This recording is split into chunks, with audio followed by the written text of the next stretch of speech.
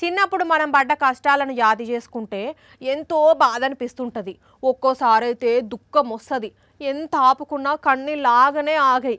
ఇంకా ఆ కష్టాల గురించి ఎవరికన్నా చెప్తున్న టైంలోనైతే అస్సలకే కంట్రోల్ కాము కదా సేమ్ అట్లనే ప్రధాని మోడీ సారు ఆయన చిన్నప్పటి కష్టాన్ని గుర్తు చేసుకొని కన్నీళ్ళు పెట్టుకున్నాడు.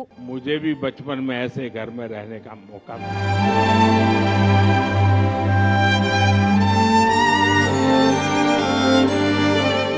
देखता हूँ मन को इतना संतोष होता है।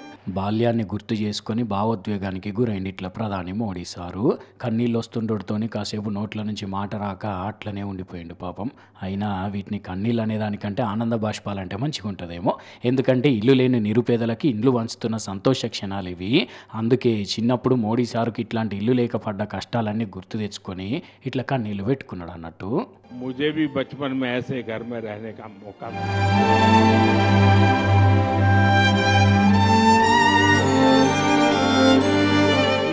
देखता हूँ मन को इतना संतोष होता है। మహారాష్ట్ర సోలాపూర్లో తొంభై వేల మంది నిరుపేదలకు పీఎం ఆవాస్ యోజన కింద ఇండ్లు అందజేసిండ్రు.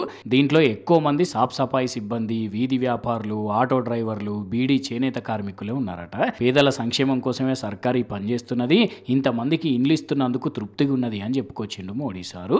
ఇప్పుడు సారు కన్నీళ్ళు పెట్టుకున్న ఈ వీడియో చూసి మోడీ సారు ఎంత గ్రేటో చూడండి ఎంత కష్టపడితే ఈ స్థాయిలో ఉన్నాడు అని కొందరు అంటుంటే ఓ ఇట్లాంటి పర్ఫార్మెన్స్లు ఇచ్చిట్లో మోడీ ఫస్ట్ ఉంటాడు అనుకుంటున్నారట ఇంకొంతమంది.